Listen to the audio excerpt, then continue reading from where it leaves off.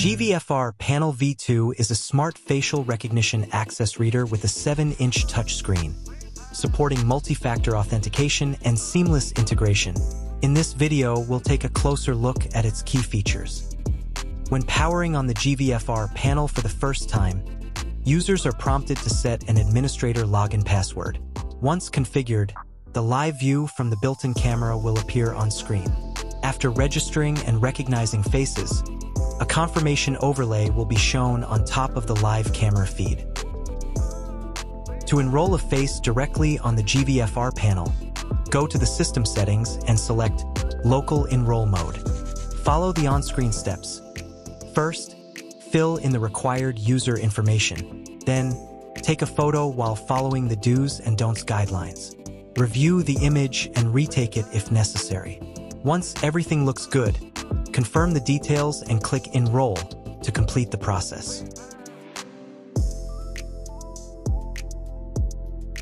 After logging in to the GVFR panel web interface, go to the Face Profiles page to create a face profile for access control.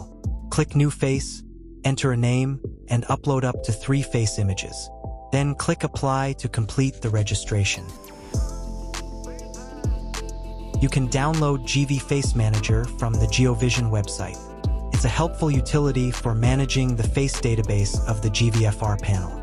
After logging in, click Add Host, then enter the IP address, port number, login ID, and password, and assign a host name for the GVFR panel. Once the connection is established, you can use Face Manager to create face profiles, synchronize, and back up the face database. Open the GVFace mobile app and go to Host Management. Then select a connected GVFR panel. Under the Members section, you can create a new Face ID by entering a name, selecting a group, and optionally adding notes, a card number, and Wiegand type. Capture a photo with your phone or choose one from your photo library. Tap Save to complete the registration.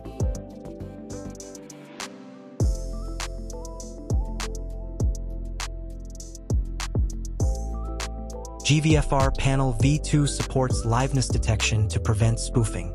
By enabling the fake slash spoofed option in the recognition settings, the system can detect whether the presented face is a real person or just an image displayed on a digital device, enhancing security during authentication.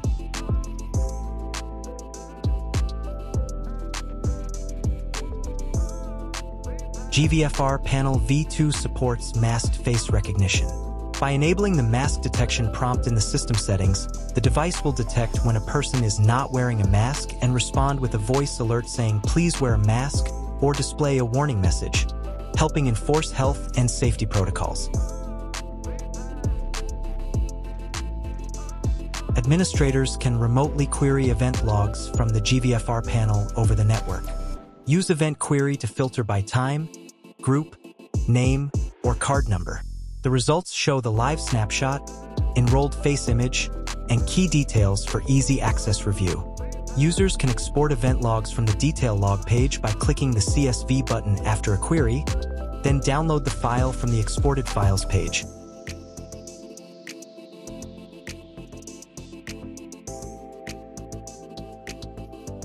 To connect GVFR panel and GVAS controller to GVAS Manager, First, add the GVAS controller. In GVAS Manager, click Setup Devices.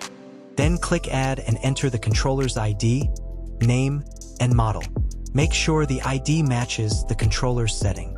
Under Network Settings, select TCP IP, then enter the controller's IP, port, default 4000, login, password, and CryptoKey. key. You can also use search to find controllers on the LAN. Click OK. A connection icon in device view confirms success. The next step is to link the GVFR panel as a door reader. In GVAS Manager, go to Setup, Devices, and double-click the controller you want to configure. Choose a door, then from the entrance or exit dropdown, select GVFR panel depending on your installation layout. Enter the IP address, port number, account ID, and password of the GVFR panel. Then click OK. The panel will now be successfully connected to both the controller and GVAS Manager. On the GVFWC slash controller setting page, you'll see an entry showing the controller's IP and connected door from GVAS Manager.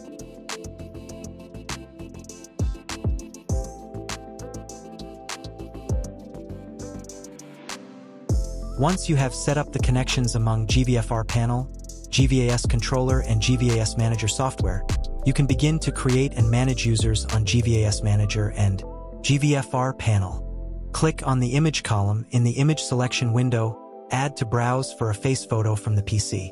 After the photo has been added, select an access card number for the user within the drop-down list next to the face photo. Click OK to apply the settings. The face photo is now paired with the user and access card. In GVAS Manager, open Setup Feature Access. Select GVFR panel, choose a door and user, then click Add. A green checkmark confirms upload. Close the window to finish.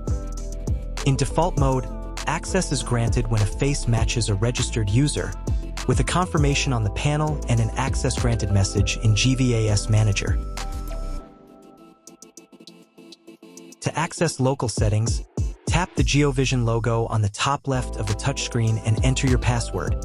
In System Settings, Auth Mode, select Card or Face to allow access with either a paired card or face recognition.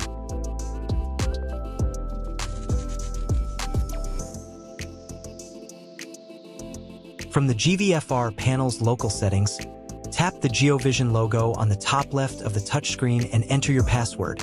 In System Settings Auth Mode, select Card and Face. This mode only allows users to gain access when both the user's card and face have been authenticated. In order to be granted access, the personnel accessing must first swipe a paired card and then perform face recognition on the GVFR panel. Once both have been authenticated, a confirmation screen will appear with an access signal being passed to the controller.